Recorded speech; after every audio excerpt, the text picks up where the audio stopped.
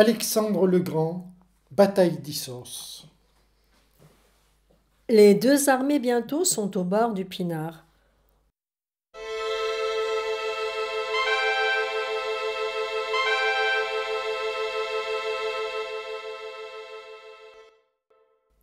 Pour concentrer sa force, Alexandre a placé les unités d'élite au milieu des éthers.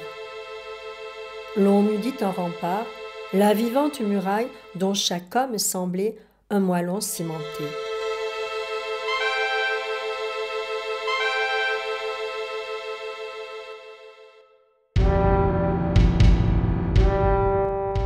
Les Perses déployaient leurs unités mêlées comme un cobra sans tête agitant ses replis, que les écus d'osier couvraient elles des écailles.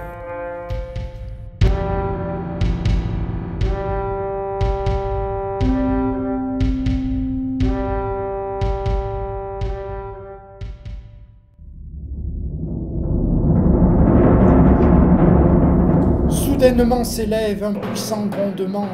Les partes au teint jaune, aux longs cheveux graissés, frappent sur les tambours de leurs marteaux en bronze. Puis un cri violent sort des buccines mysiennes. L'or vers les Thessaliens se rue les géants sites, que suivent lentement les pesants pachydermes. Braquant son bouclier, chacun des phalangites dresse devant son corps une paroi de fer. L'archer étolien cherche un trait dans son carquois. Chaque sarissophore attache un dard aigu. Le frondeur crétois place une balle en ses cordes.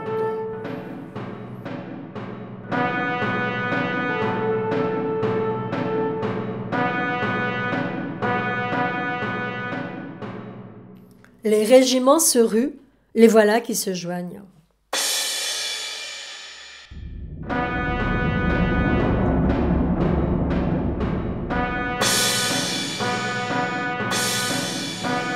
Formidable choc, épouvantable, incroyable. Tumulte indescriptible où se confondant monte. Le tintement léger des pectoraux heurtés, le bruit des javelots fracassant les écus dans la sourde clameur des longs. Le bronze mord la chair, le fer perce le cuir. De leurs griffes pointues, les scorpions déchiquettent, les traits piquent la terre ou fusent dans les corps, la forte massue broie, le trait véloce tranche.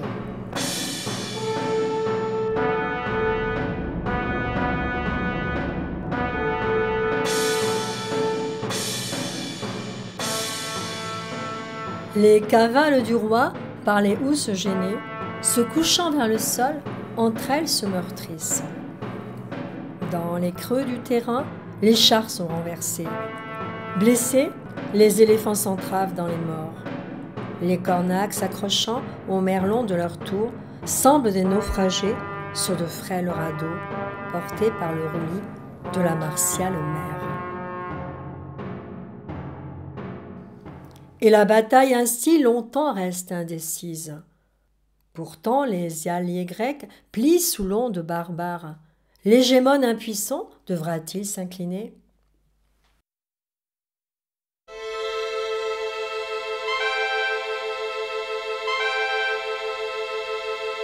Le voici protégé par ses fidèles gardes, le regard assuré, le visage impassible, malgré l'atroce lutte et malgré le danger. Près de lui sont massés les ilesses redoutables, son œil d'aigle parcourt le front de l'ennemi. Loin vers la gauche, il voit un groupe de mots chiens dont les casques de bois et les sangles de cuir ne peuvent repousser les fiers argiraspides. C'est alors qu'Alexandre avertit les éthers.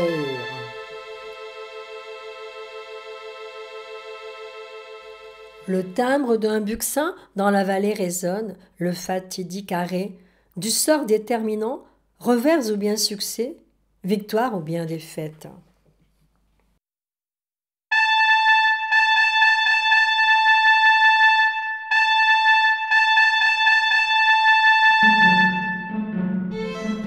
Suivant leur jeune chef, les hyparchies s'ébranlent.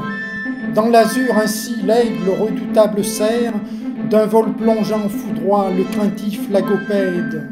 Les hardis cavaliers dans les rangs des unis taillent une ouverture avec leurs javelines, comme on fraye un chemin dans la forêt touffue. Mais au lieu de rameaux, des corps jonchent la terre. Tenant son bouclier, on fulgurait, hideuse, la tête de Gorgone au fascinant regard, l'hégémone impérieux combattait sans relâche.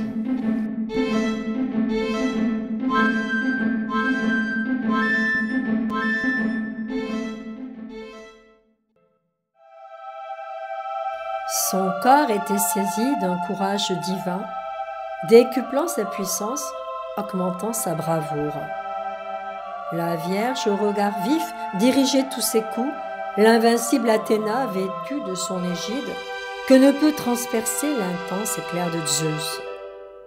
Maintenant, elle attelle au timon de son char ses quatre chevaux blancs attachés par le mort, déroute avec panique, épouvante avec peur.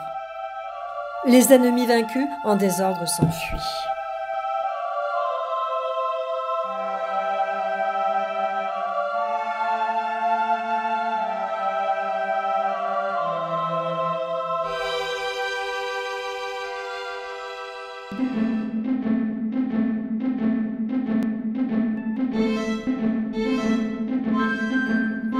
Sans perdre un seul instant par la brèche entr'ouverte, les premiers Grecs vers les rangs à l'arrière.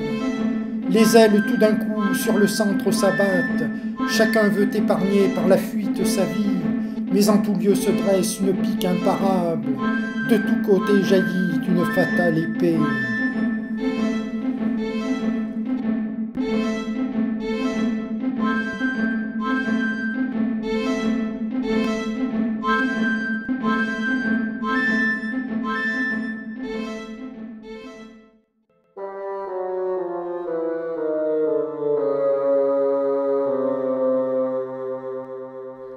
Traqué sur chaque front, le guerrier sans défense vers lui voit s'avancer la mort inévitable.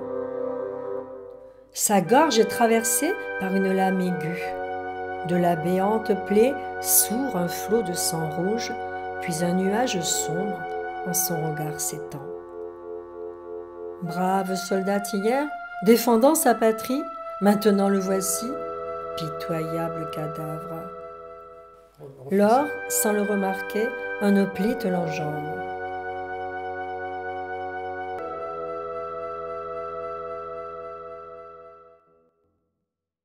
Dès que fut écrasé le dernier bataillon, le fougueux Alexandre, excitant son coursier, gagna le monticule où s'élevait le trône. Mais il ne trouva plus, sur le sommet des airs, qu'un fanion déchiré s'étalant dans la fange.